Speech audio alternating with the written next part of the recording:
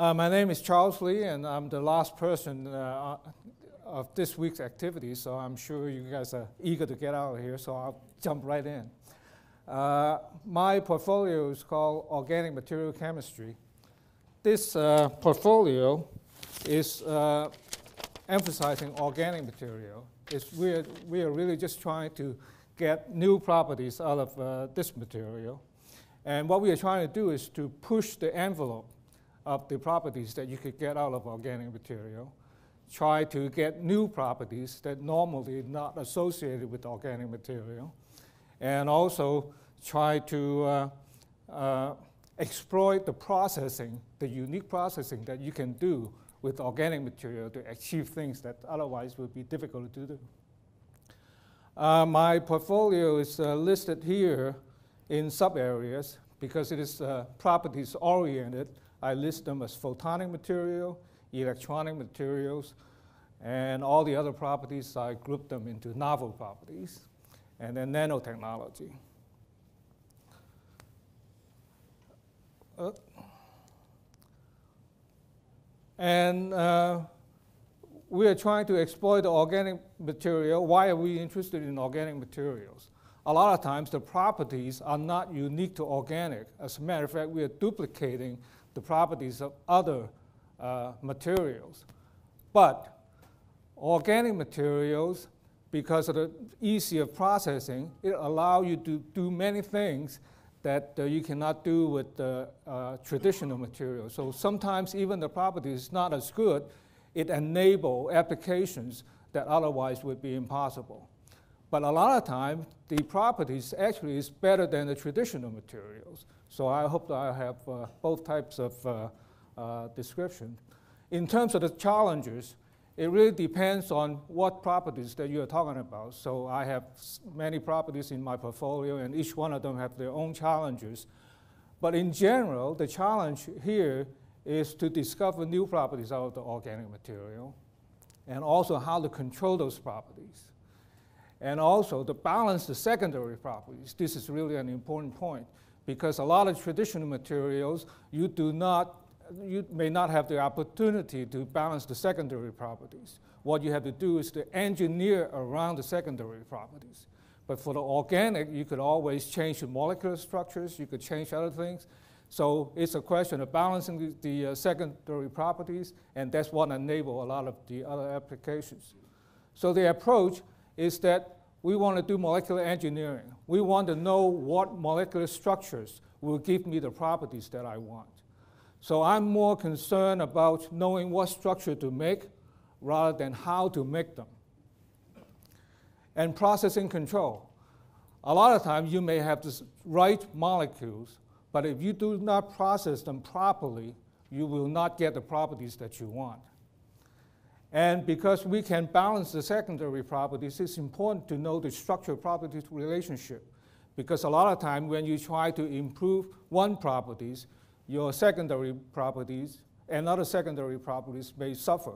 So you need to know how to do the trade-off and how to do the balance. This program, as I explained, is trying to develop the properties it's not application specific. As a matter of fact, if I try to look at my portfolio, look at what kind of application we are trying to cover, there's so many of them that uh, I don't even try. But with the application in mind, it helps us guide uh, the focus of the research in terms of wh what properties we want to achieve and what regime we want to get into. So it's not application specific, but we use the applications to guide our research. And we, we work a lot with the uh, labs and so forth, so they come up with a lot of uh, new concepts, new uh, application concepts. A lot of these are not real today, but we're hoping to make uh, applications, uh, materials to enable this type of new applications. Here's the uh, slide indicating the interactions. There, we are not the only one who's funding organic or polymer chemistry. Uh, all three services, uh, ONR, ARO, all are funding this area, NSF, NIH, and DOE. Uh, we are all addressing the same type of scientific issues, the synthesis, the characterization, and so forth. But among the three services, we have different focuses. So we coordinate, and uh, as a matter of fact, my counterpart from ARO is, is here. Uh, and uh, where we have overlap, we try to have joint review. For example, in the photovoltaic uh, area, both ONR and us are funding this area, so we hold annual joint uh, organic uh, photovoltaic program review. And there's also interaction with a lot of other organizations that's not doing basic research. A lot of times they still have polymer in their portfolios, not so much to do the polymer research, but they use the polymer for their specific applications. So we interact them uh, uh, at, at that level. And especially with, lot, with the TDs, pretty much uh, they are providing us the kind of input, what kind of properties would be of interest. And there are also other meetings to interact with uh, other agencies as well. Uh,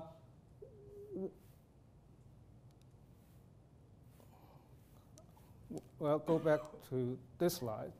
As a matter of fact, we get this concept from, uh, from uh, Kirtland. As a matter of fact, this is uh, what inspired the first uh, highlight that I'm going to talk about. I'm not going to go through all this those uh, uh, sub-areas individually.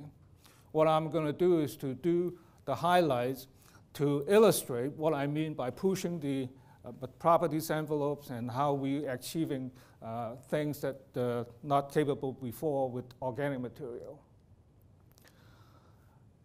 As I mentioned, uh, we are trying to get organic to lase as, as a laser people have achieved that already by photo pumping. But we want to electro pump it to lase because that allow you to have uh, uh, integration into flexible uh, substrate and uh, have conformal lasers and all kind of things. But there's always, we, we, we've been funding this area for a number of years.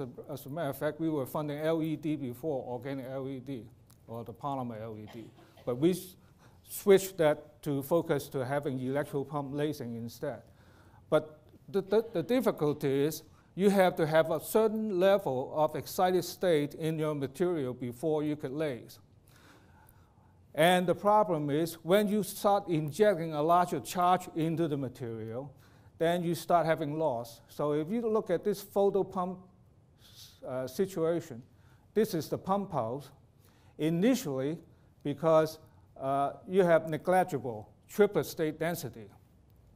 Therefore, you could easily achieve the gain equal to the loss, and the lasing begins.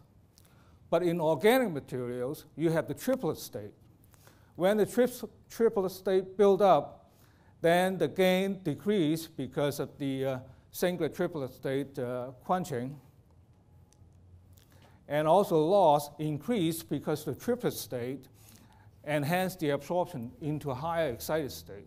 As a matter of fact, a lot of uh, several programs are really dealing with the excited state, uh, and we use this fact to enhance nonlinear uh, uh, absorption in our uh, uh, two photon absorbing, nonlinear absorbing materials. So they've gone through a lot of research to understand why the lasing de decrease. So after the analysis, the conclusion is to reach the CW lasing, the continuous wave lasing. The triplet state must reach a steady state. That is, you got to stop the triplet state from building up in the material. So they come up with this uh, triplet state manage, managers molecule. Actually, this is the phrase coined by the uh, review in the review article that address how important this uh, uh, discovery is. So, but I call it a triplet state sink because what it does, this is the trip, uh, conventional system where you have a hose, the, the traditional four system level, where you pump into the excited state, singlet state, that translate into the emitter's singlet state, and therefore you emit. But if you build up enough density, then it will lase instead of just giving off light. But the problem with the organic is that you have triplet state. So a lot of the as you build up more and more density here, you're building up the density in here too. And therefore, it's cut off the, uh, because it increased the loss and so forth, it cut off the, uh, the lasing. So they call this put in another molecule. The molecule is designed so that this excited singlet state is higher than this two, but the triplet state is lower than this two. So if you look at the emission spectrum, it follows this, uh, this sequence. And if you look at the triplet state, it follows uh, this sequence. So therefore, it's act as a sink that suck all the triplet state out of this one, and eventually you reach the steady state, and therefore you have CW lasing. So they illustrated that, and indeed the photoluminescence dropped because the triplet state stopped building up, but when it reaches steady state, you have a CW lasing. So it's one approach to how to eliminate the loss of organic material and eventually will hopefully lead to the, uh, getting, achieving electropump lasing. Another area is uh, bottom-up metamaterials. One of the things that people would like to get uh, from the metamaterial is to achieve negative index uh, refraction. But for polarized light, it's the reflective, effective uh, refractive index is not just epsilon mu, but there's also a chirality parameter in there too. As a matter of fact, this chirality effect, uh, people have been building chiral structures based on metal, but those uh, the metal structures are inherently lossy. Therefore, it's uh, become an issue. But organic, if you can build those chiral structures out of organic, maybe it would uh, serve the purpose of getting uh, low loss material. And also, organic material, they have intrinsic uh, uh, uh, chirality because you, if you have a chiral center in the molecule, then you could have chiral properties. So what they're trying to do is to achieve kappa larger than the epsilon mu and to, to get the negative refractive index, and they are trying nanocomposite approach to enhance the chirality. And because it is organic material, you could use traditional photo patterning in order to uh, achieve chiral structure as well. So it's a two, uh, double impact on the chirality. So this is the first demonstration for organic material to have a plasmonic enhancement. So this is the molecule with chiral center built in. It had its own chiral behavior, but it's very small. By putting in the gold nanoparticles, you're using the plasmonic effect to enhance the chiralities. Uh, we always think of the plasmonic effect is to enhance the field effect, but this is not a field effect because it's just by the rotation of the uh, chiral center. So this is the first time it's demonstrated that, and after its uh, pub, pub, uh, publication in the uh, year, it's been cited uh, 13 times. So this demonstrated the plasmonic effect. They also demonstrated excitonic effect, that is using quantum dots to enhance the chirality.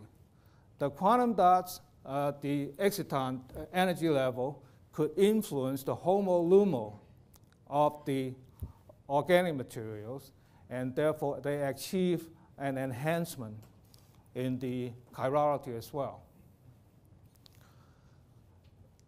And here's an example where uh, I usually try to pick an example of why processing is important.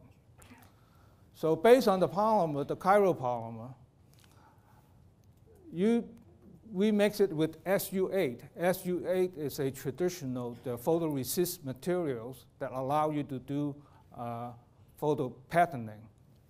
So after they mix it, cast it, and then put on a mask, do the UV uh, uh, irradiation to uh, do the uh, uh, photolithography, and then they develop it by washing off the unexposed area and leave you with a chiral pattern.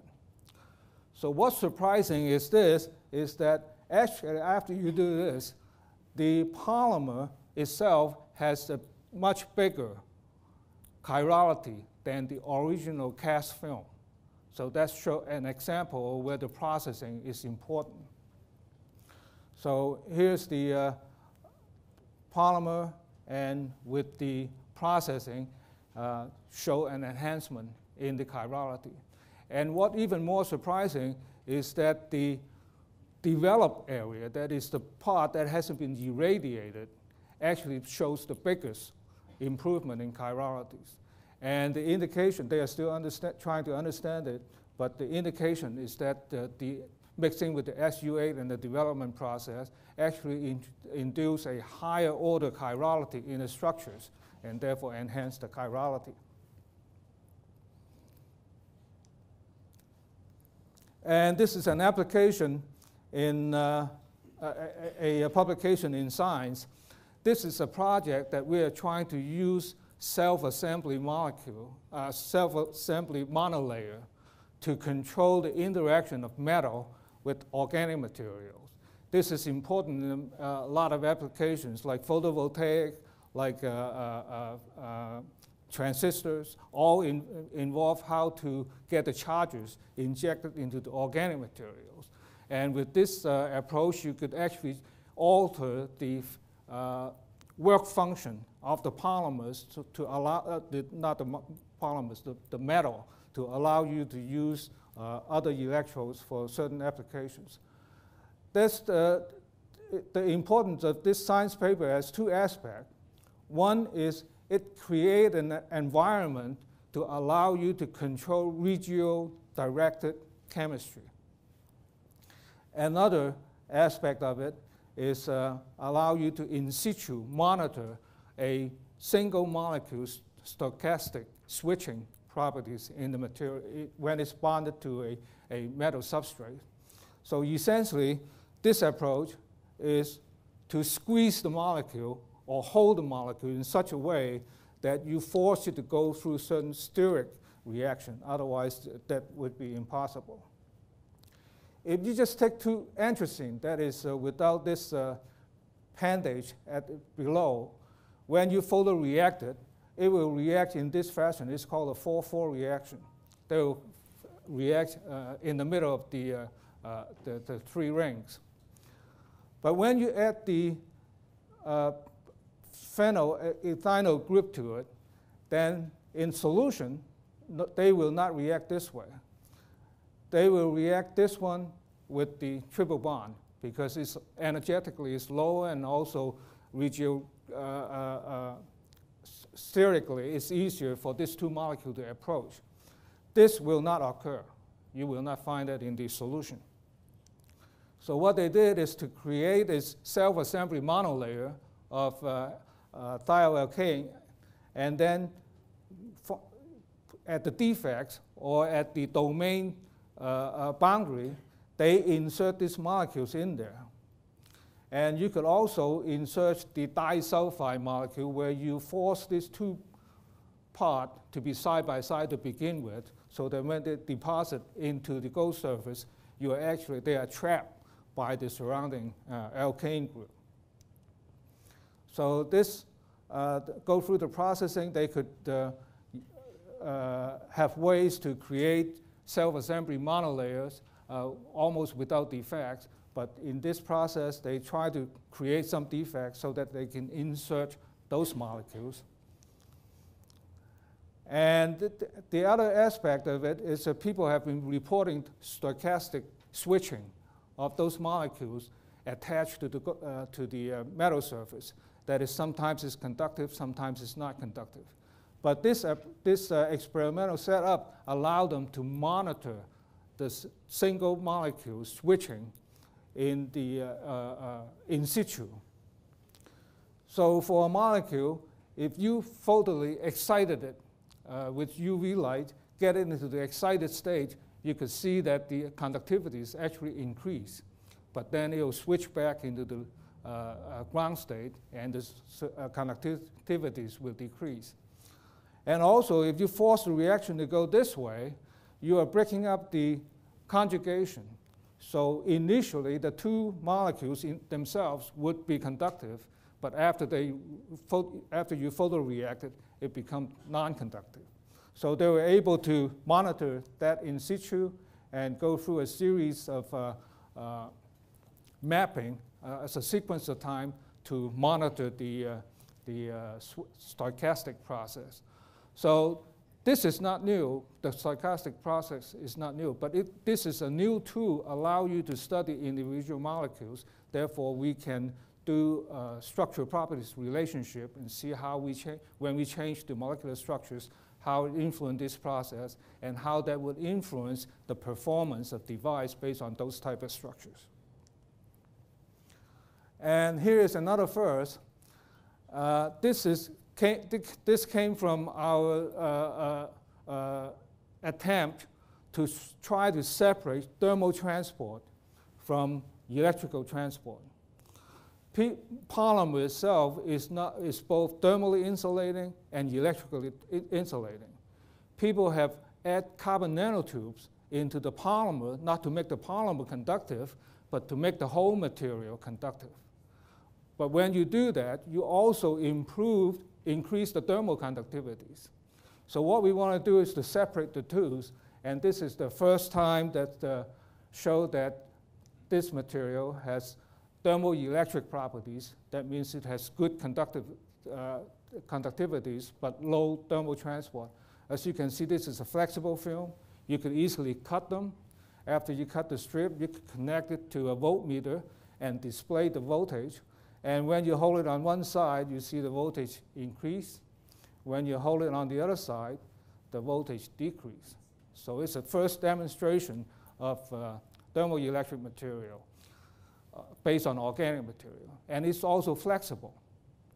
So theoretically, it can be a wearable thermoelectric. Turns out it's important for the Air Force because a lot of times the pilot sit in the cockpit in the runway when it's get hot and after a certain time, if they cannot take off, they have to cancel the mission. Because under thermal stress, it reduces the uh, G tolerance of the pilot. So they have to do that. So HE would be interested in having developed this as a wearable thermoelectric to keep the pilot cool in the runway. So the way they do that is to come up with a composite where you start out with carbon nanotubes but you isolate individual carbon nanotube with a uh, uh, solvent and uh, with the uh, uh, emulsion material. And part of the emulsion material is a conductive polymer. The, this conductive polymer is not, does not come in a chain, but come in a, a particles, nanoparticles. So each individual nanotube is surrounded by these conductive polymers. And then you add other polymer spheres into it, this will allow you to control the mechanical properties. That's why it's very flexible, so you could tune the composition and see how stiff you want the material. And also, you force all these carbon nanotubes to go through a narrow path in the material. And as you can see here, this is two carbon nanotubes, and it's surrounded by, by uh, conducting polymers uh, spheres, while the electrical transport can go through because you have conductive polymers surrounding it, but the mismatch of the phonon energy between the carbon nanotubes and the uh, conductive polymers acts as an effective phonon scatterer. And that's why the, uh, it's still uh, thermally insulating, but electrically conducting. And it's for the first time we can separate the electric uh, conductivities and maintaining the same level of thermal conductivities. And note that this is in the, the electrical conductivities in the log scale, but this is in the linear scale. And that's why we can see the properties that we want to see. And this is based on single wall. As you know, single wall can be either conductive or can be semiconducting. But if you use double wall, then the chance is much higher that they will all be uh, conducting. And you could see that uh, using double wall, they get an 800% improvement over using just the single wall carbon nanotubes. And here's a project of using chemistry to do a graphene. We all know that graphene has very interesting properties. But the best electronic properties you get out of it is always very expensive, or you could get it out of the pristine graphite. So we are trying to use chemistry in order to uh, address graphene. And this is another science paper. And what it shows is that you could easily do patterning on graphene.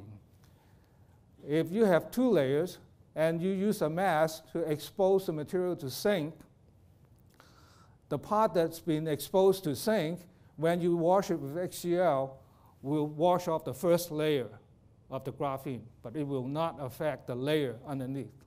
So therefore, you could, after the first mask, you could always put on another mask and remove another layer. So here you have two layers because it never been exposed to the zinc.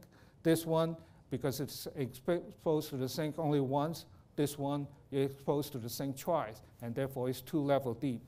So they were able to uh, do patterning, so that makes it a lot easier in the future to do uh, patterning for graphene uh, to make uh, electronics. And I had talked about this last year. They, a lot of times when you try to functionalize the graphene to make it compatible with organic material, you wind up uh, destroying the electronic properties of the graphene. And they came up with an approach using uh, potassium, uh, potassium uh, vapor to unzip the carbon nanotubes, but leave it with hydrogen side group and no damage to the graphene. So you're leaving the electronic properties intact. And then after, at this point, you could replace the H group with whatever organic chemical you want, depending on the subsequent process you want to do. And they have done it with styrene, they have done it in isoprene. So it turns out this, uh, it, this material, if you have a thin graphene nanoribbon, is practically transparent to RF wave. And they have been working with Lockheed Martin and develop a system where this is spray coatable you could spray coat a carbon nano uh, uh, uh, coating on any surface, even on a flexible surface. And then there are enough conductivities that you could do, it de do a de-icing. So this could be a de-icing approach for radomes, for radar, and uh, this is one example of a transition, the type of transition that we're trying to do. Uh, here's a fun part.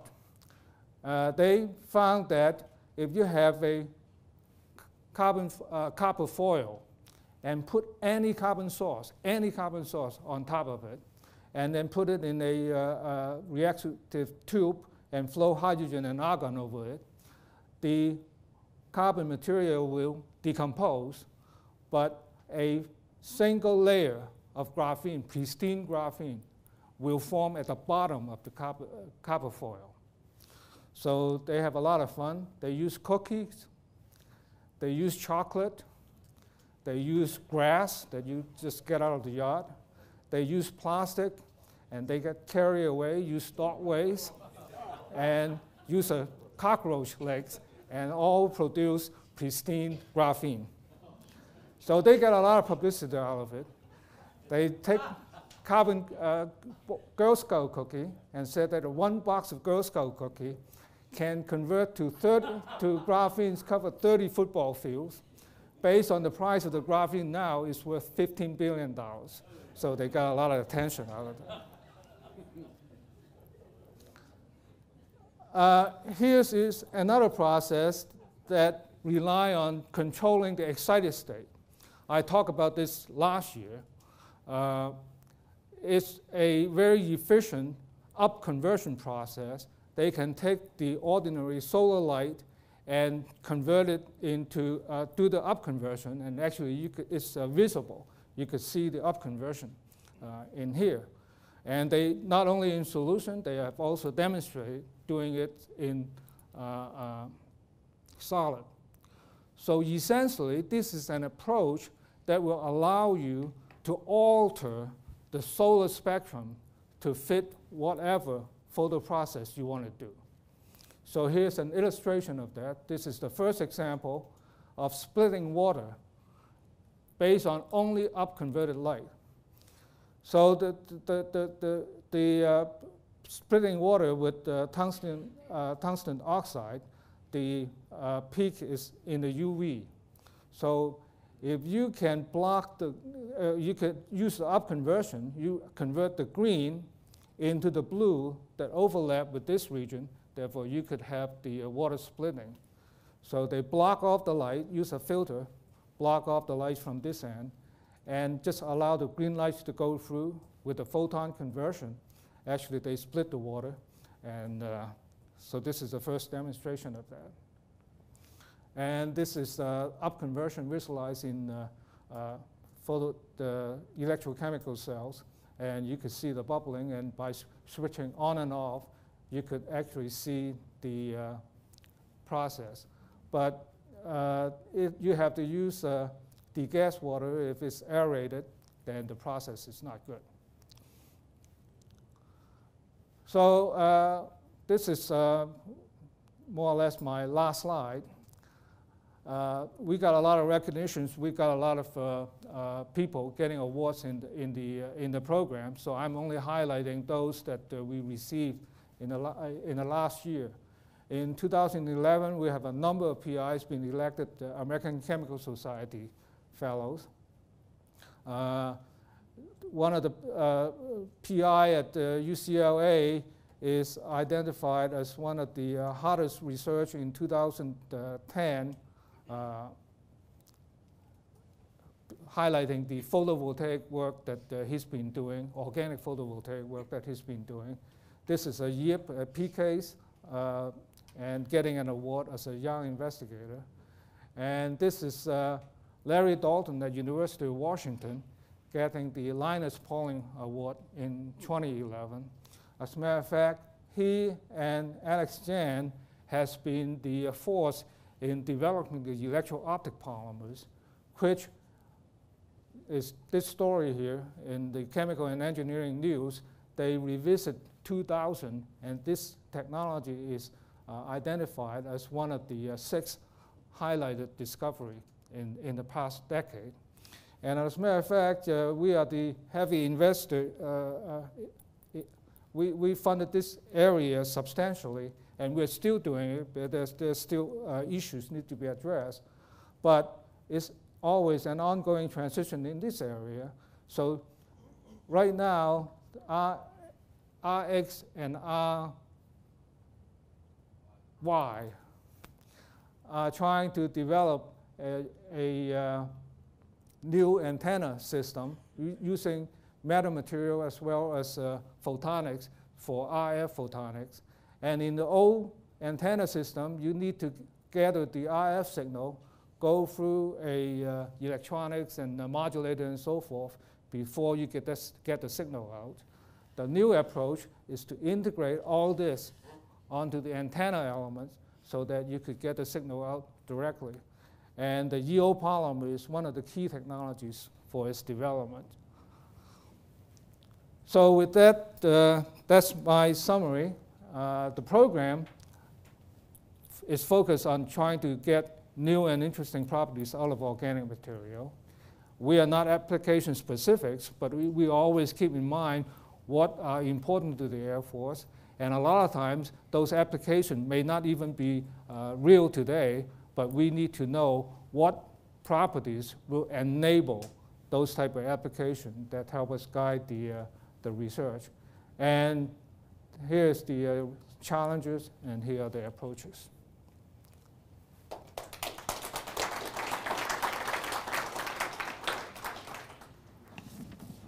Questions or comments?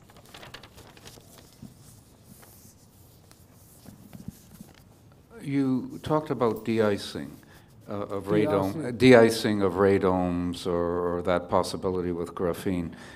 So what are you saying that if the ice is on the structure and you then add graphene, the, uh, the ice disappears? Or no, are you? You have to run a current through it. You have electrode on the side. You could always grab the, uh, electrode on, the, uh, on each end and then run a current through it. Okay, well then that, uh, so that this would be a permanent feature of the, It could be. So how resistant, when you actually put graphene onto a structure like that, I'd be specific about aluminum magnesium. Why? Because we all sit in an aircraft while it is being de-iced. Uh, And is this, uh, would, would this be something that would actually resist airflow friction, et cetera? I'm just going beyond the concept of putting it in a static situation for uh, a situation on an aircraft wing. On aircraft wings, Yeah, yeah, as a matter of fact, uh, this could, you, you could tailor this to be transparent also. I didn't talk about the transparent electrode part. People are talking about replacing the ITO in the cockpit. You could put it on the wing uh, for de-icing purposes. Uh, So there are many applications. I'm just mentioning one, but there are many other applications. Is, is there any work moving forward in this type of application area? The Well- transition is what I'm referring to. I don't know that because those are, maybe companies are doing that, not in my program. Because my program don't address those applications. We're just only enabling whatever technology they want to do. Great. If there are no other questions, let's uh, thank our speaker again.